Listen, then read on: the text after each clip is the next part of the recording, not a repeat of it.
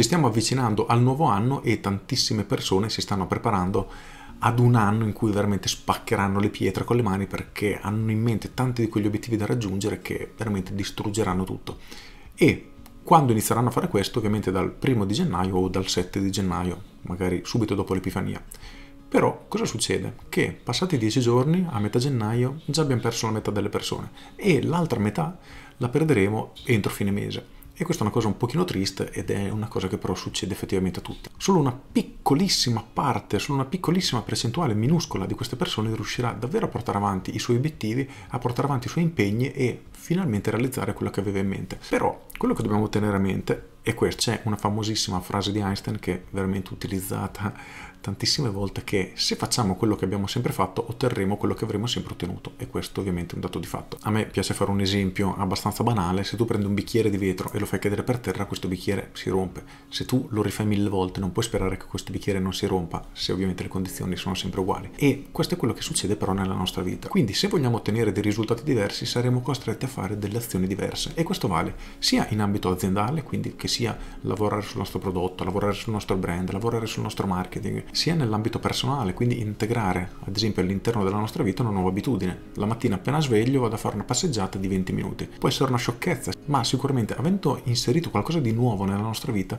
di conseguenza per forza succederà qualcosa di diverso. Magari arriveremo solo al lavoro più svegli perché avendo camminato un pochino ci si è un pochino attivato tutto il cervello, oppure quei 20 minuti in cui passeggiamo, ascoltiamo magari dei podcast, ci vengono in mente nuove idee, oppure semplicemente respiriamo aria pulita e riflettiamo, ci vengono in mente nuove idee. Quindi effettivamente basta davvero un piccolo cambiamento per iniziare a ottenere nuovi risultati.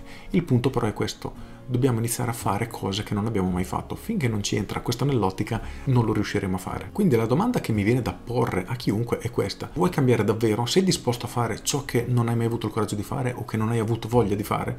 Se la risposta è sì, allora probabilmente il 2020 sarà davvero un anno di cambiamento dove spaccherai, staccherai le pietre con le mani. Altrimenti sarà purtroppo una replica degli anni passati dove magari sì, la tua vita è un pochino migliorata, ma non sei riuscito ad andare a quella velocità che speravi. A me personalmente è successo per troppi anni, quindi è una cosa che mi tocca particolarmente, motivo per cui oggi registro la pillola su questo argomento e voglio portare proprio l'attenzione su questo. Se ti interessa veramente raggiungere nuovi obiettivi, nuovi traguardi, allora devi essere disposto a fare cose che non hai mai fatto prima. Che sia per pigrizia, che sia per paura, non importa, sei costretto a farlo. Il mio consiglio, buttati, se non è una cosa in cui veramente se ti butti ma male, sei rovinato, buttati perché davvero sarai costretto a metterti in moto una volta che ti sei buttato in acqua, sarai costretto a nuotare per non affogare, l'importante è che tu sappia nuotare. Per cui il mio consiglio per il nuovo anno, un pochino in anticipo, è proprio questo. Pensa se davvero hai intenzione di cambiare vita, se vuoi cambiare qualcosa nella tua vita o nel tuo lavoro e inizi a fare le cose che servono per riuscire a raggiungere quell'obiettivo. Con questo è tutto, io sono Massimo Martinini e ci sentiamo domani. Ciao!